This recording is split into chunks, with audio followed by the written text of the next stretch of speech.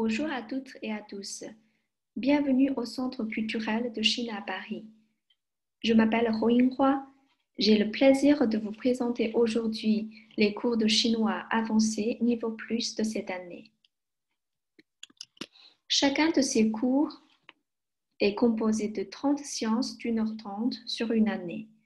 Il s'agit de cours d'approfondissement des connaissances en langue, culture et société chinoise. À travers ces cours, vous, les futurs élèves, vous perfectionnerez de manière progressive les quatre compétences langagières de base. Écouter, parler, lire, écrire. Pendant ces cours, nous utilisons les volumes 4 et 5 du nouveau manuel de chinois pratique.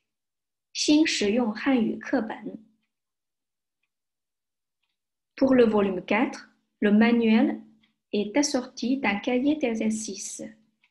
Pour le volume 5, les exercices sont compris dans le manuel. Chaque volume est assorti d'un DVD.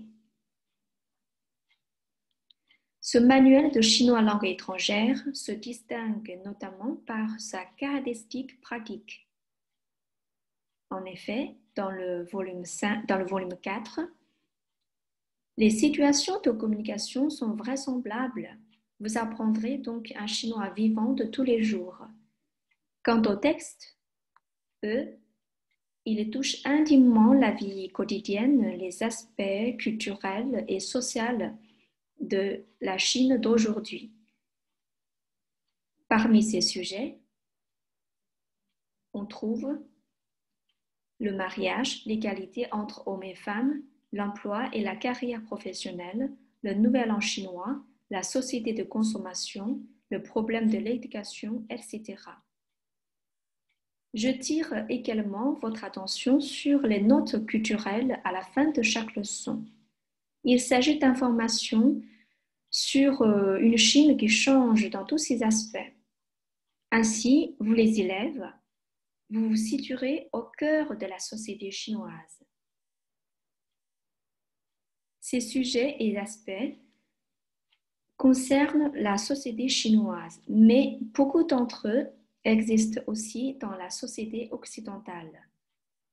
Vous pourrez ainsi discuter autour de ce sujet en faisant une comparaison entre la culture chinoise et la culture occidentale. Ainsi, vos compétences de communication en chinois s'amélioreront. Il est à noter que le cahier d'exercice du volume 4 est une richesse inégligeable avec sa variété d'exercices de compréhension orale et écrite, vous pourrez en profiter pleinement.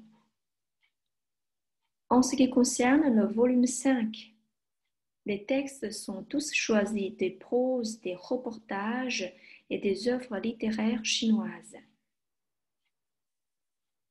Légèrement modifiés par rapport aux textes originaux, ces extraits vous permettront non seulement d'apprendre les connaissances linguistiques telles que structure phrastique, groupe de phrases, mais aussi de vous initier à la littérature chinoise et de continuer à connaître la société chinoise. En finissant ce volume, vous assimilerez peu à peu un langage soutenu en dehors du langage courant. Alors, comment les cours se déroulent-ils? Chaque séance de cours commence par une révision ou des commentaires sur le devoir. Pour l'étude d'une nouvelle leçon, nous apprenons d'abord le vocabulaire, ensuite la grammaire, après le texte et nous faisons enfin les exercices. À chaque étape, d'enseignement est axé sur l'amélioration des quatre compétences langagières de base. L'enseignant, pendant le cours, fait tous ses efforts pour stimuler une interaction efficace avec les élèves. L'enseignement se déroule dans une ambiance à la fois sérieuse et amicale. Pour finir mon discours d'aujourd'hui, je vous donne une petite démonstration du cours. Voici une phrase ou un petit texte que j'ai cité de la leçon 42 du volume 4.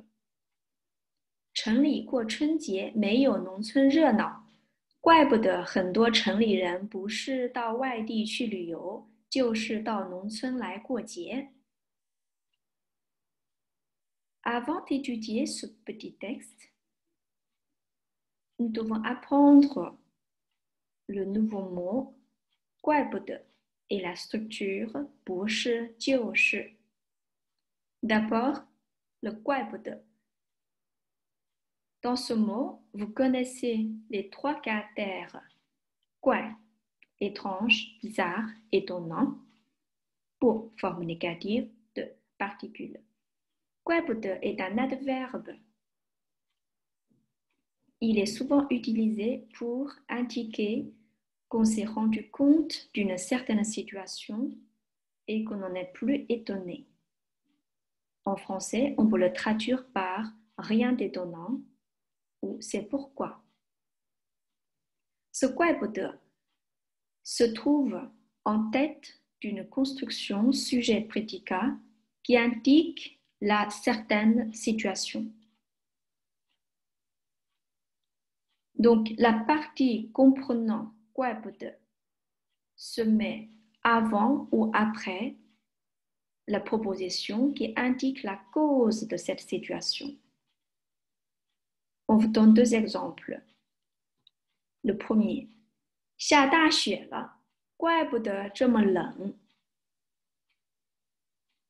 donc, il neige à flocons.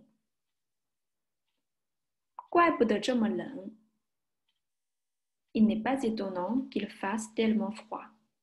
Donc ici, c'est va faire tellement froid, c'est la situation. Mais la cause, c'est quoi? C'est la promotion d'avant. il neige à. Tout à l'heure, je vous ai dit que la partie comprenant quoi peut se mettre avant ou après la, la proposition indiquant la cause de la situation. Donc, on peut tout à fait inverser les deux propositions. Ça donne 怪不得这么冷，下大雪了. C'est le même sens. On regarde maintenant le deuxième exemple.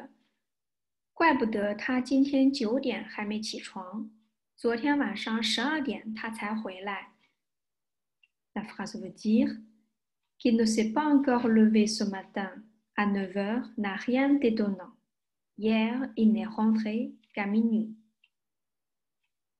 Et on peut toujours inverser les deux propositions et ça donne le même sens. 昨天晚上十二点他才回来，怪不得他今天九点还没起床。Voilà pour l'adverbe 怪不得。 Maintenant, passons à la structure 不是就是。不是就是 correspond à la structure française soit soit et sert à exprimer un choix entre deux possibilités. Après, pour on peut mettre beaucoup de choses, comme un nom, un verbe, une locution ou une proposition. En tout cas, il s'agit de deux éléments parallèles. Par exemple, la première phrase 他从早到晚都很忙，不是工作就是学习。il est occupé du matin au soir, soit au travail, soit à l'étude. Donc, 工作,学习, deux éléments parallèles. Et dans le deuxième exemple, 他每次去上海不是坐高铁就是坐飞机。高铁 veut dire TGV. Donc, chaque fois qu'il va à Shanghai. Soit il prend le TGV, soit il prend l'avion.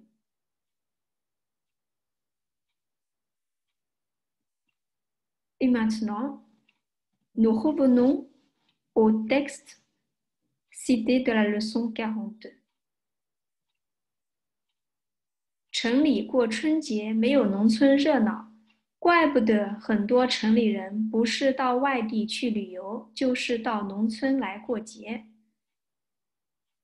Vous comprenez maintenant, 怪不得 et la structure 不是就是 et toute cette phrase, vous comprenez bien maintenant. C'est-à-dire, pendant le Nouvel An chinois, l'ambiance en ville est moins animée que celle à la campagne.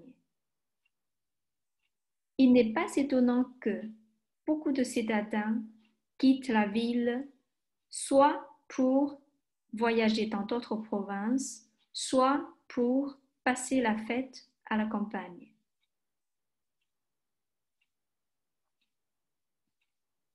Voilà mon petit discours d'aujourd'hui. J'espère euh, vous avoir euh, donné une idée plus ou moins claire euh, de nos cours. Et si vous êtes intéressé par nos cours, vous pouvez aller dans la librairie au fond ou la librairie Phoenix pour acheter les manuels. Je vous remercie pour votre attention.